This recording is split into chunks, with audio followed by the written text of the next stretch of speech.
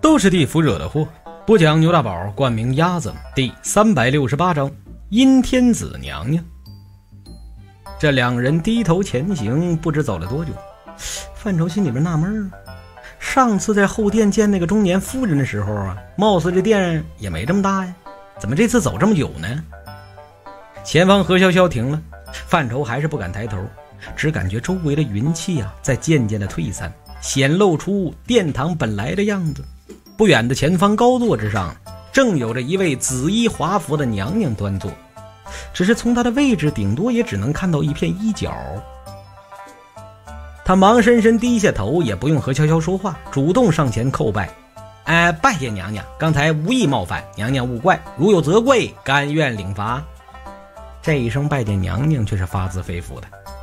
只听那娘娘慈声善媚，慈声道：“起来吧，你并没错。世人都道神仙真言难见，岂不知神仙也是凡人做。”若是当真不愿人见，又何必设下这庙宇殿堂，塑了神像，还要收受俸禄呢？范畴一听，你看看，怪不人家是娘娘啊！你看人家几句话说的哈，非常好，一个一点都不脱离群众。不过这个娘娘究竟是？姐姐，你真不打算惩罚她一下？何潇潇指了指范畴，眼睛里却都是坏笑。范畴心目中一动，何潇潇叫她姐姐，难道她真的是？那娘娘微笑道：“哼，你就不要再吓唬她了。范畴，你不必拘礼，也不必害怕。你的事情我早已尽知，起来吧。”他早已尽知，他啥都知道了吗？范畴赶忙站起了身，心头忐忑，却还是不敢抬头。何潇潇扑哧就笑了：“看你像那个样子，抬起头，姐姐没那么吓人。”范畴缓缓抬头，却还有些不敢直视，那是一种发自心底的慰藉。这些天，小崔常常跟我提起你，你帮了我们不少的忙。说起来，我还要谢谢你。小崔，他说的应该是崔命。哎，请问您可是崔命大哥的姐姐？你猜的不错，我正是崔命的姐姐，也是潇潇的姐姐。那这么说，此时面前的这位就是阎王爷的老婆？跟地府打了这么久交道，还真没见过阎王爷他老人家，却先见到了阎王奶奶。啊啊，原来是阴天子娘娘驾到，小的之前实在不知，呃，确有冒犯，多谢娘娘不怪之恩。说起来，这阴天子娘娘肉身成圣，她的故事在民间更为的流传。传说中啊，这阴天子娘娘本来是四川大竹县人，本名叫做护英，是一位护员外的独生女儿。容颜很美，琴棋书画是样样精通。这护员外呢，就把她视作掌上明珠，甚为的宠爱。话说这一年呢，这个护员外出门收账，不料一年未归，母女俩望眼欲穿，却不见员外归来，不由心急如焚，便动了进香许愿的心思。于是员外夫人便带了仆从与女儿护英一起，来到了四川丰都名山，见庙便拜，一路而行。很快，他们就来到了丰都名山的正殿天子殿。员外夫人再次顶礼膜拜，祈求阴天子保护员外平安无事，早日回家团圆。那护英站在了香案一侧，看着那尊金身罗汉天子出了神。这一路上，那护英所见其他神像啊，不是面目狰狞，就是奇形怪状。而这阴间之王，堂堂的阴天子雕像，却雕的是五官端正，气宇轩昂。那庄严中带着几分英俊，威武里又有几分慈祥。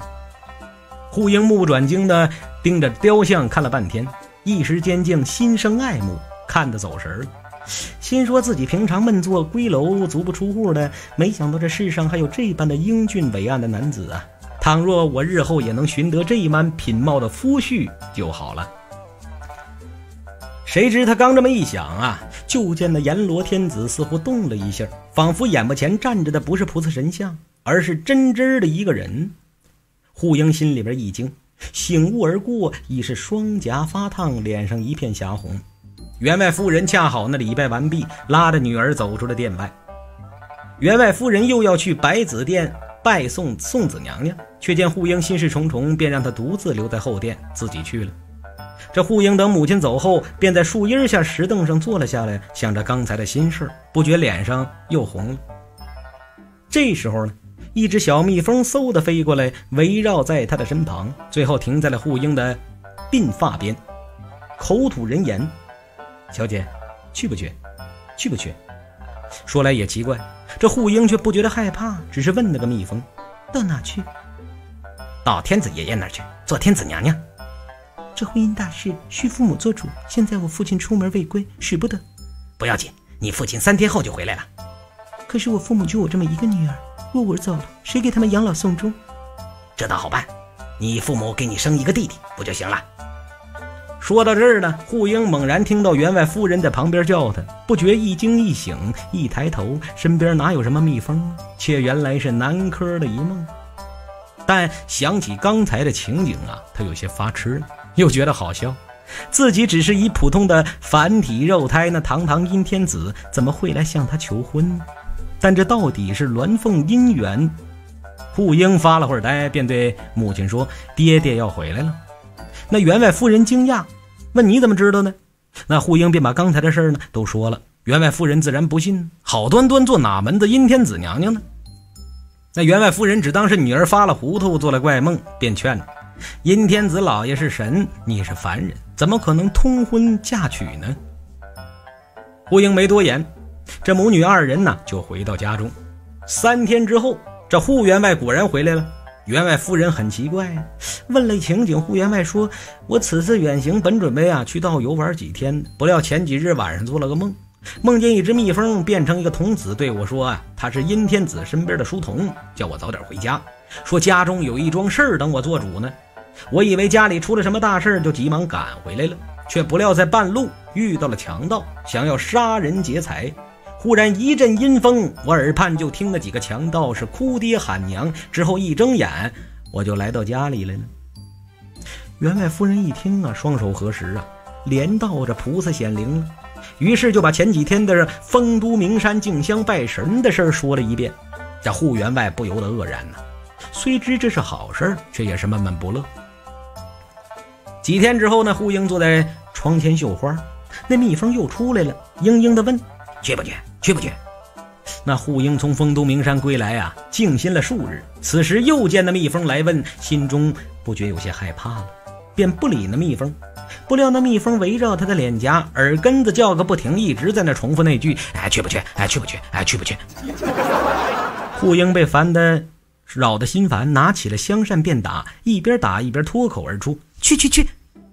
他本意是赶那蜜蜂，谁知他这么一说，那蜜蜂便不再问了，飞出窗外。就不见了。从这天起啊，护英便开始神情恍惚，茶不思饭不想。第二天就病倒在床，口中不断的低喃：“我去，我愿意去，去去去，哎呀，我去！”护员外夫妇急了呀，四处寻医问药，求神拜佛的，不见效果啊。他们心里清楚，去做天子娘娘那就是死了。老两口只有这么一个女儿，怎么能舍得呢？此时呢，护英病情忽然好转，转身笑着说：“孩儿承蒙天子爷爷的眷爱，封我做了天子娘娘。今儿个晚上就接我到丰都城，爹爹娘亲多保重，不要忘了来看我。”就在这天晚上，半空中是仙乐齐奏。来了一对车马，一行人簇拥着阎罗天子，护英是凤冠霞帔，光彩夺目。